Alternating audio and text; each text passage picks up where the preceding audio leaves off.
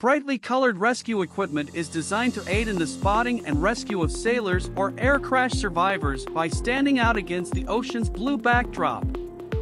However, this vivid color might also attract other creatures, such as sharks, to the water's surface. During World War II, the U.S. Navy reported shark attacks on stranded sailors and airmen, leading scientists to suspect that sharks were drawn to the bright colors of life saving equipment, which they nicknamed Yum Yum Yellow. Recent shark bite reports off New York's Long Island have raised questions about the incidents.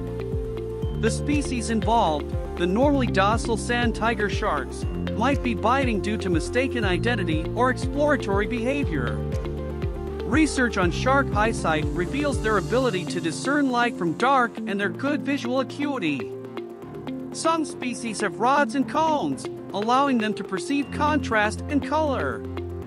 However, most pelagic sharks, like the oceanic whitetip involved in attacks after ship sinkings, have relatively few cones, suggesting limited color vision. Contrast is crucial for sharks' visual perception, especially in turbid waters.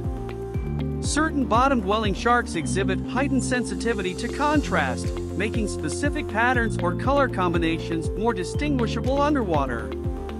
While bright-colored equipment may not significantly contribute to shark attacks, reducing contrast with the surrounding ocean could be beneficial in some situations. Swimmers and divers are advised to prioritize safety by using equipment that increases their chances of rescue while avoiding bright and highly contrasting swimwear or dive gear. Understanding sharks' vision and behaviors can promote safer coexistence with these creatures in their natural habitats.